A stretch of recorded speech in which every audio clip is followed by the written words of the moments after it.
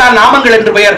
அதை சொல்லி ஸ்துதிக்கிறவரை காப்பாற்றியதற்கு ஸ்தோத்திரம் என்று பெயர். இதை அனைவரும் உணர்ந்து எல்லா இடங்களிலும் சொல்லி எம்பெருமானுடைய நிறையருளை பெற்று குறைகள் நீங்கி வாழ்வோம் என்று வாழ்த்தி விடைபெறுவோம்.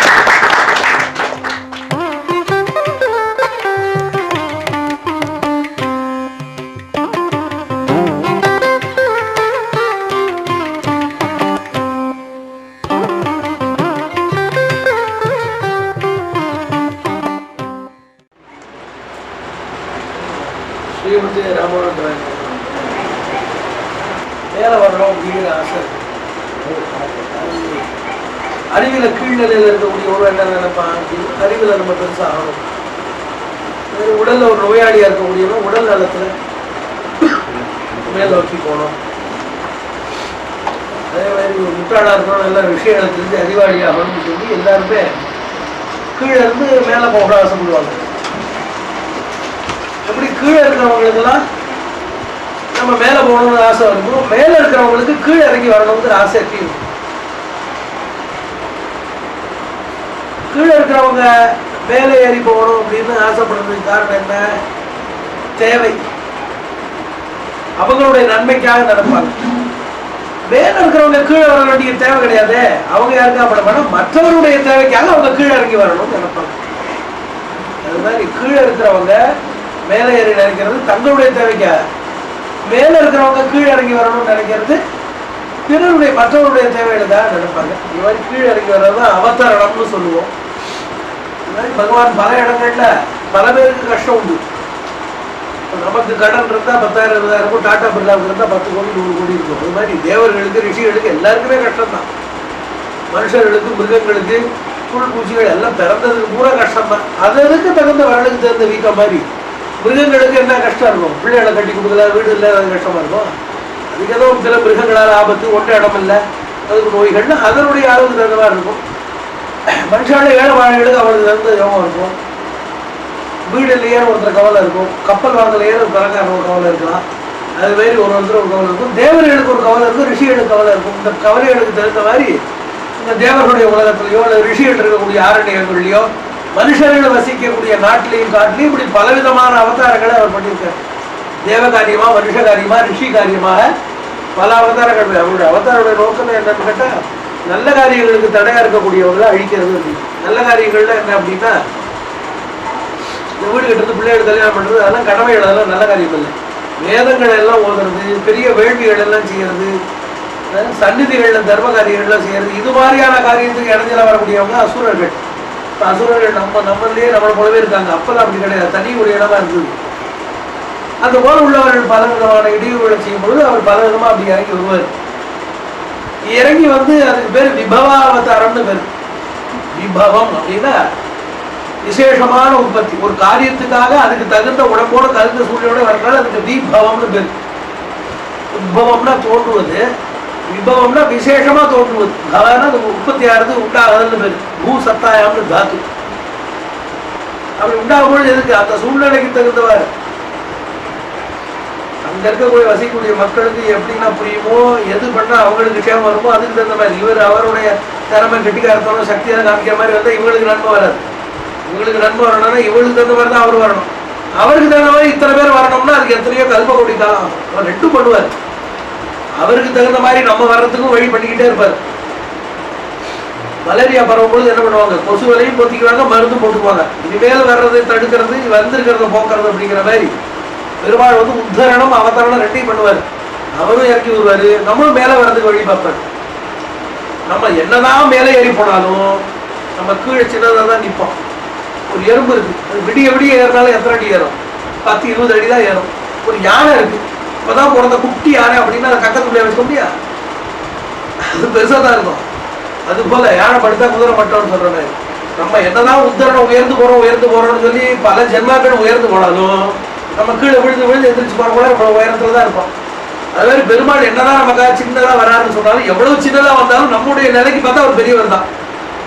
ரொம்ப சின்னதாக வந்துட்டேன் அப்படின்னா கூட யானை புது யானை இப்போதான் போட்ட குட்டி சின்ன குட்டி பாவம் அப்படின்னாலும் கூட அது எறும்புக்கு போய் பார்த்தா எப்படி இருக்கும்? அது மாதிரி என்னதான் அவர் கீழே இறக்கி வந்தாலும் அவர் பெரியவர் பெரியவர் தான். நம்ம என்னதான் மேல போயிட்டே இருந்தாலும் சின்னவன் சின்னவன் தான்.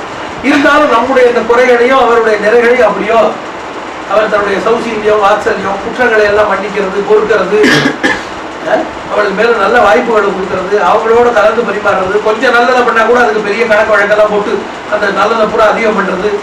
இந்த மாதிரி ஆணுஷங்கிக வாத்சல்ய சௌசீல்ய பிராசங்கிக யாத்திரிச்சிகள் இந்த குணங்களை சொல்லுவாங்க. ஏதோ ஒரு சின்ன தப்பு பண்ணா நம்ம பிடிக்காதவங்க என்ன பண்ணுவாங்க? அந்த தப்பை பெருசாக்கி அந்த ஆளை போயிட்டு ஒரு தப்பு விட்டுருவாங்க. சின்ன தப்பு பண்ண. பண்ணாட்டியும் கூட உண்டாக்கி. அதுபோல பகவான் வந்து நம்ம நல்லதே பண்ணாட்டியும் அதாவது ஒரு சின்ன நல்லது ஏதோ எதேச்சியா நம்ம பண்ணியிருப்போம். அதை வந்து பெரிய புண்ணியம் பண்ணான்னு அதுக்கு பேர்லாம் கொடுத்து பெருசாக டெவலப் பண்ணி அதுக்கு பெரிய அனுகிரகம் பண்ணுற மாதிரி எந்த வாய்ப்பை கொடுத்து அனுகிரகம் பண்ணாலும் தான் அவர் பார்ப்பாரே தவிர எப்படா அவனை கால வாரி கொள்ளலாம்னு நினைக்கிறது மாயை தான் தவிர பகவான் அப்படி பண்ணுறது இல்லை. இது போல அவர் இப்படி இறங்கி வந்து தன்னுடைய நிறைவு ஒரு குறை இருக்கு நம்முடைய குறை ஒரு குறை. இந்த ரெண்டையும் எப்படியாவது சமன்வயப்படுத்தி இந்த ரெண்டையும் எப்படியாவது இணைச்சு நம்மளை எல்லாம் ஒரு கரையேற்ற முடியுமான்னு பல முயற்சிகள் செய்கிறார் அந்த அவதாரங்கள்ல தான் வந்து விபவாவதாரம் அப்படின்னு இந்த அவதாரங்கள் பேர் அந்த அவதாரங்கள்ல சிஷ்ட பரிபாலன துஷ்ட நிகிரக சமர்த்தராக இருக்கக்கூடியவர் நிருசிம்மர். அடியார்களுக்கு எவ்வளோ மரியாதை கொடுக்கறது? துஷ்டர்களுக்கு மேக்சிமம் அப்படி தண்டனை கொடுக்கறது. எல்லா அவதாரங்களையும் அடியார்களை ரட்சிச்சார். எல்லா அவதாரங்களையும் துஷர்கள் அழிச்சார் அழிக்காத இருந்தார் எல்லாத்தையும் அழிச்சார் ஆனால் மேக்சிமம் அடியார்களுக்கு எவ்வளோ மரியாதை கொடுக்குறமோ அவ்வளோ மரியாதை கொடுத்து நரசிம்மர் தான். பிரகலாதனுக்கு ஒரு சின்ன பையனுக்கு அவ்வளோ மரியாதை கொடுத்தாரு. அது மாதிரி மேக்சிமம் ஒரு எதிரியை வந்து எந்த அளவுக்கு துவம்சம் பண்ண முடியுமோ அந்த அளவுக்கு துவம்சம் பண்ணணும் அவர் தான்.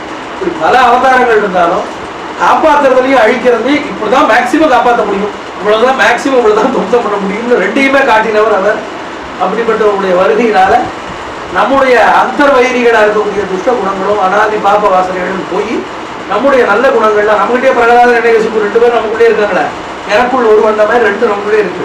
அதுவே நமக்குள்ள இருக்கிற இரண்டகசிப்பவர் ஒழிச்சு நமக்குள்ள இருக்கிற பிரகலாத புத்தியை தூண்டி விட்டு அவருக்கு பக்தர்களாக்கி நம்ம அவர் மூலமாக என்னென்ன பண்ணிக்கிறோமோ அதெல்லாம் பண்ணிக்கணும் இது கொஞ்சம் பேர் தான் கலந்துக்கிட்டு இருக்கீங்க மற்றவங்கலாம் இன்னும் ஒரு தடவை வரும். அப்போபுரத்துக்கு வாங்க இல்லைன்னா மறுபடியும் இன்னொரு தடவை பெருமாளை ஏழை பண்ணி சேவிச்சு எல்லாரும் எல்லா நன்மை வேணும்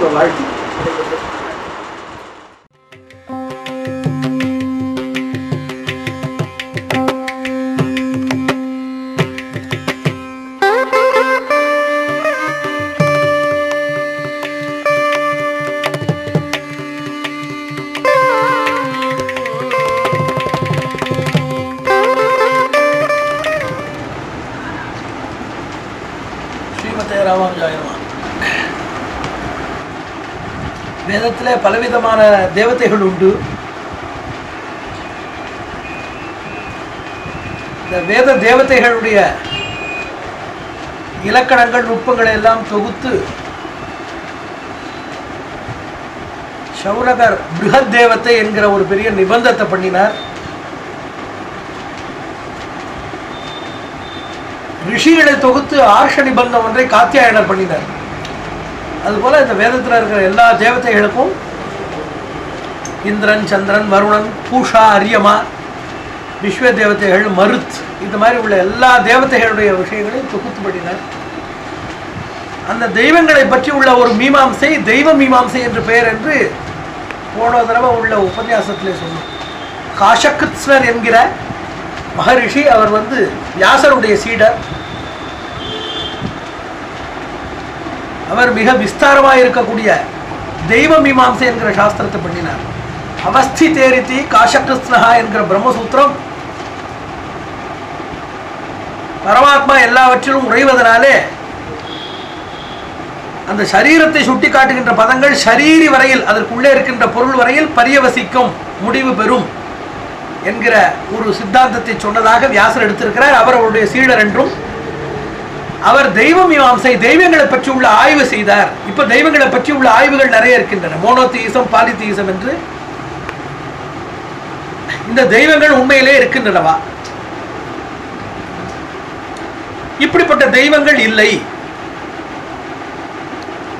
இது மக்களுக்கு மதங்களிலேயும் வழிபாட்டிலேயும் வாழ்வியல் நெறிகளிலேயும் எத்திக்கல் கிரிப் என்பார்கள். அதுபோல ஒரு நெறியில பிடிப்பு உண்டாக வேண்டும் என்பதற்காக இது போன்றுள்ள தேவதைகளுடைய வடிவங்களை எல்லாம் அமைத்து இவைகளெல்லாம் இருப்பதாக கருதி மக்களுக்கு ஒரு வாழ்வு நெறியில ஒரு பற்று உண்டாகப்படியாக இதை செய்தார்கள். எத்திக்கல் கிரிப் என்று பெயர் அப்படி என்று உண்டாயிற்று என்கிற கழு- கருத்து ஒரு வகையான வாதத்தில் உண்டு இரண்டாவதாக கருத்து சொன்னவர்கள் இந்த